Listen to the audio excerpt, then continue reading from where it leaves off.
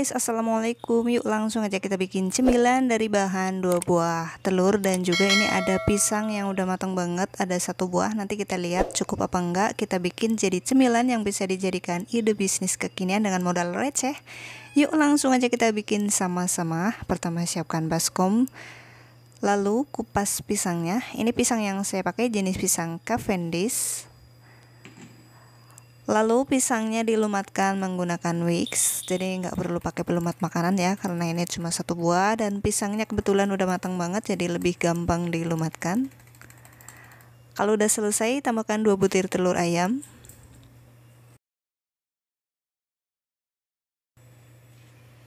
Lalu untuk menghilangkan bau amis pada telurnya, saya akan tambahkan kurang lebih sekitar setengah sendok teh perisai vanila ini diaduk kembali sampai tercampur rata.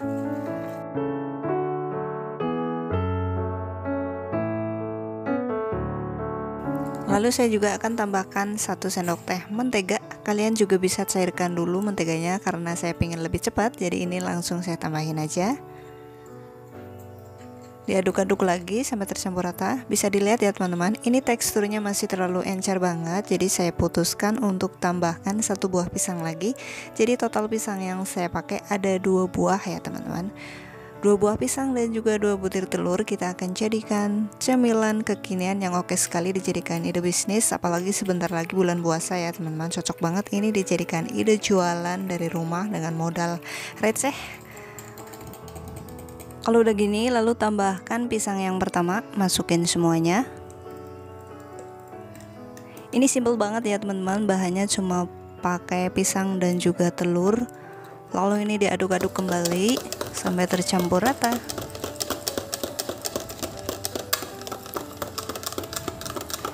Nah, ini dia yang udah siap dipakai. Kemudian sisihkan dulu. Siapkan api, apinya kecil aja pen yang saya pakai ukuran 18 eh 20 cm. Kemudian ini dipanggang per 1 sendok sayur kurang lebih sekitar 3 menitan. Wow ini cantik sekali. Setelah agak mengering ini dibalik seperti ini. Ini cara bikinnya gampang banget rasanya juga enak teksturnya bagus banget. Pokoknya dijamin semua orang suka dengan cemilan satu ini apalagi ini dijadikan ide jualan pas nanti bulan puasa ya teman-teman. Wah pasti laris banget karena ini cocok sekali dijadikan takjil saat bulan puasa. Nah ini yang udah matang warnanya cantik sekali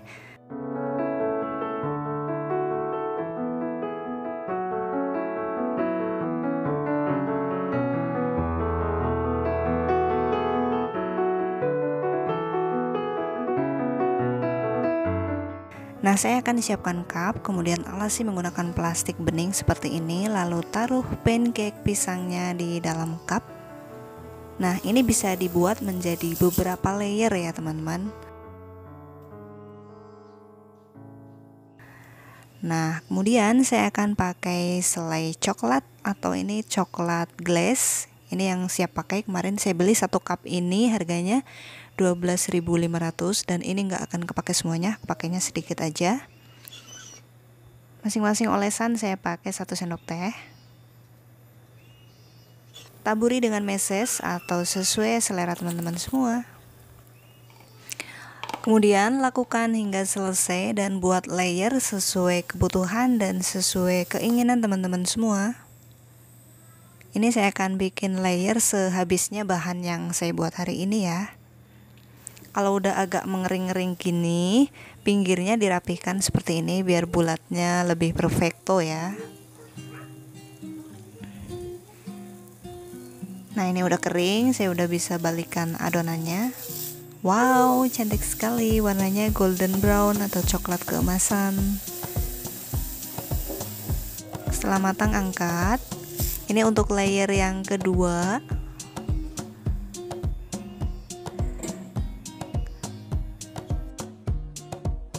Lalu olesi kembali menggunakan coklat glaze atau selai coklat.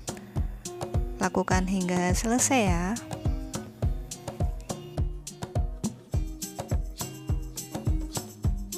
Wow, bisa dilihat teman-teman, ini benar-benar sangat menggoda untuk coklatnya.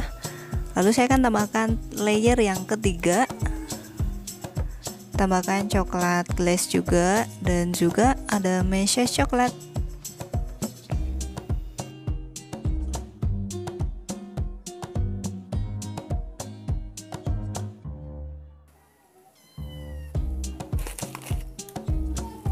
Nah, ini untuk layer yang keempat. Tambahkan coklat glaze, kemudian ratakan.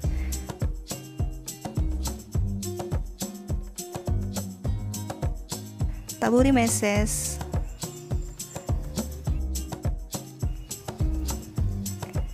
Dan ini dia hasilnya.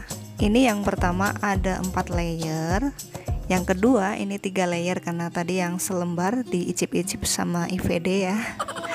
Wow, ini modalnya cupnya saya beli harga 1.500, telurnya 2 3.000 rupiah, untuk pisangnya 2 buah 4.000 rupiah, dan juga ada coklat glass kepakainya sedikit aja dan ini bisa dijual mulai dari 10.000 rupiah pasti laris manis banget. Yuk langsung aja saya akan coba seperti apa rasanya. Saya udah gak sabar pengen coba. Coklatnya sangat menggoda. Kalian yang pecinta coklat wajib coba resep ini. Wow, ini lembut banget. Wow, bisa dilihat teman-teman, ini cantik sekali. Luar biasa dan rasanya sangat enak sekali. Ini cocok banget dijadikan takjil saat nanti bulan puasa. Save dulu resepnya teman-teman untuk nanti kalian bikin saat bulan puasa. Terima kasih sudah menonton video IVD Cooking. Sampai ketemu di video menarik selanjutnya. Jangan lupa like, share, dan subscribe channel IVD Cooking. Terima kasih.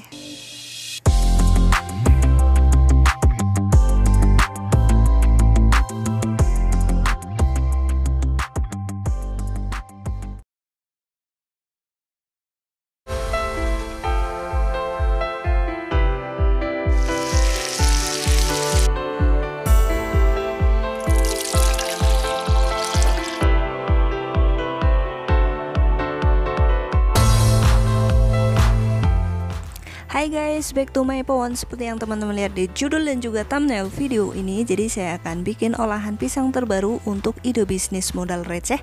Kenapa saya bilang modal receh? Karena ini bahannya dan juga modalnya cukup murah meriah sekali. Ini saya pakai sebanyak 5 buah pisang raja nangka.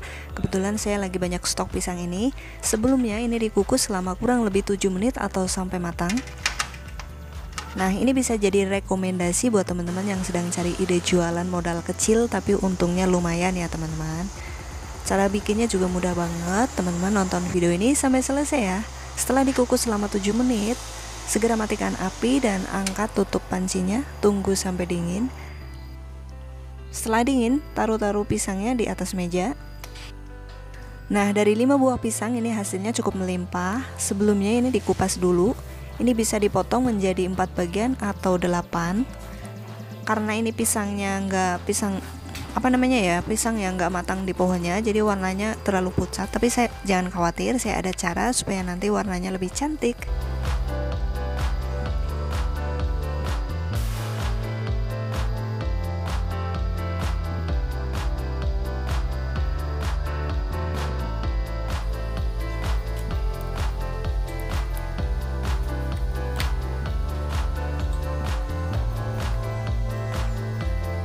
Nah ini selesai untuk pengemasannya karena saya nggak nemu plastik segi empat yang lembaran jadi saya akan pakai plastik es seperti ini.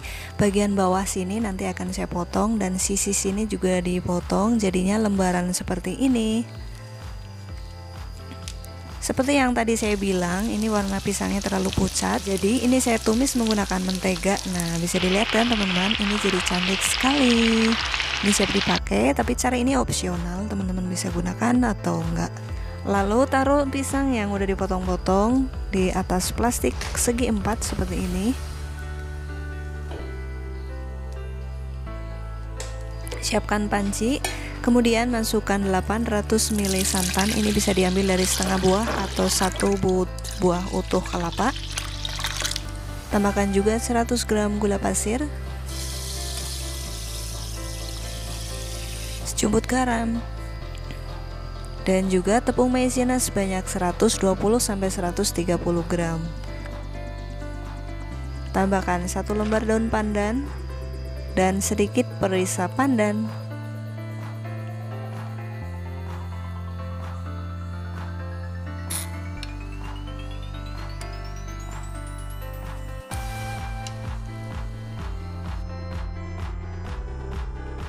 Gunakan api sedang cenderung kecil dan ini dimasak sambil terus diaduk-aduk.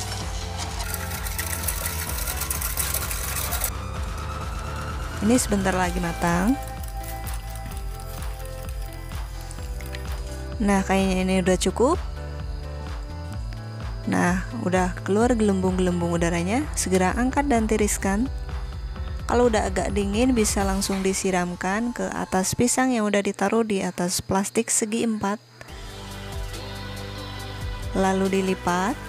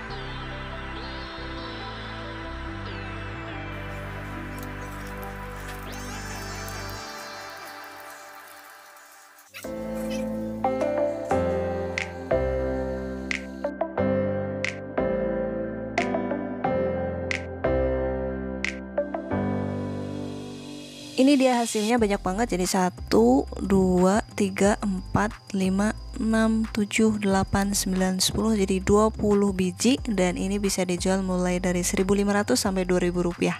Selamat mencoba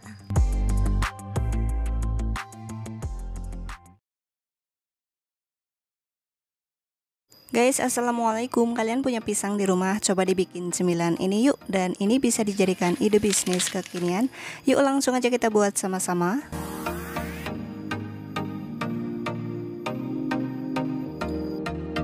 Yang pertama siapkan tepung terigu sebanyak 7 sendok makan atau setara dengan 70 gram masukin ke dalam wadah yang lebih besar. Lalu tambahkan juga tepung beras sebanyak 2 sendok makan atau setara dengan 20 gram.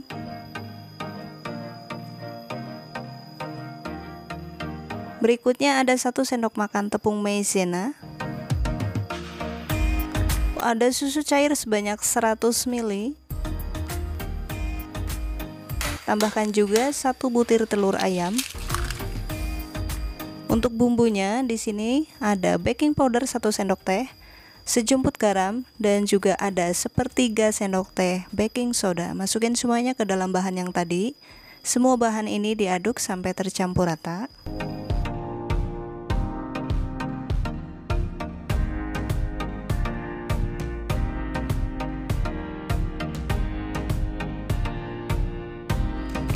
Kalau teksturnya masih terlalu kental seperti ini, tambahkan air sebanyak 80 ml. Jadi total cairan yang dipakai sebanyak 180 ml. Jadinya seperti ini dan ini siap untuk dipakai.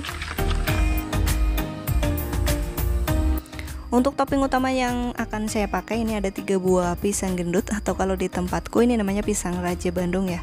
Kalau di tempat kalian apa namanya? Ada nggak pisang seperti ini? Coba tulis di kolom komentar ya. Lalu nyalakan api, kecil aja apinya. Siapkan pen juga dan ini pen ukuran 20 cm.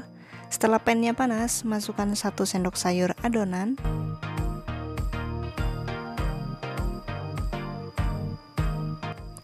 Ini dipanggang dengan api kecil sampai setengah kering. Nah, ini pisangnya akan saya kupas dulu dan ini dari satu buah pisang bisa menghasilkan beberapa biji ya. Jadi dari total tiga buah pisang itu hasilnya lumayan banget dan ini recommended sekali untuk ide jualan cemilan kekinian ya karena ini modalnya irit. Cara buatnya gampang dan nggak perlu pakai alat-alat khusus. Ini akan saya iris tipis-tipis seperti ini satu lembar adonan ini kira-kira saya isi dengan 6 sampai 7 irisan pisang tipis-tipis seperti ini. Lalu saya juga pakai susu kental manis secukupnya. Dan saya akan siapkan satu bungkus coklat ring.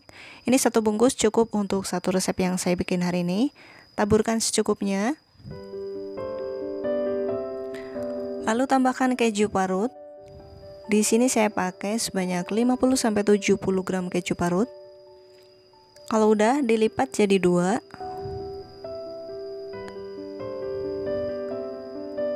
lipat lagi seperti ini. Ini bisa sambil dipegang ya karena nggak terlalu panas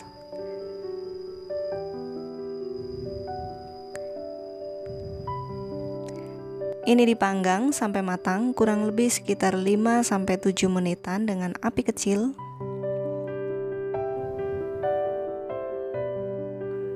Ini untuk panggangan yang kedua, lakukan cara seperti ini hingga selesai. Nah, ini adonannya diratakan dulu, kemudian panggang sampai setengah kering.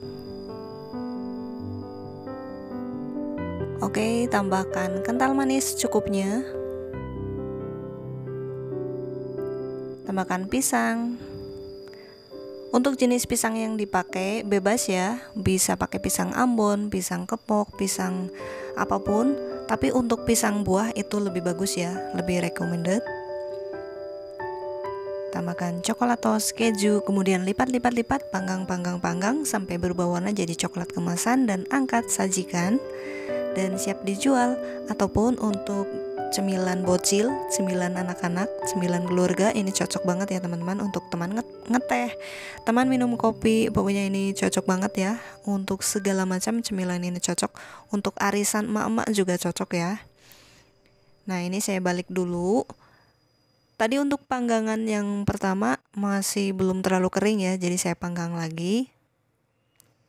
Nah, ini yang udah matang, saya akan angkat dulu. Lakukan cara seperti ini hingga semua bahan habis dan selesai.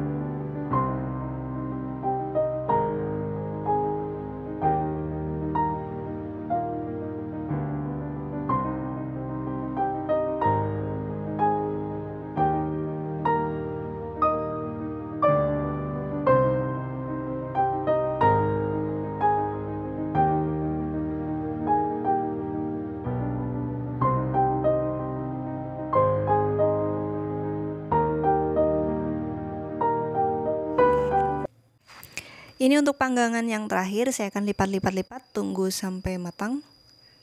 Wah, ini cantik sekali dan aromanya sangat wangi, harum. Nah, ini udah matang, saya akan angkat. Ini dia hasilnya dari satu resep menghasilkan kurang lebih sekitar 14 biji.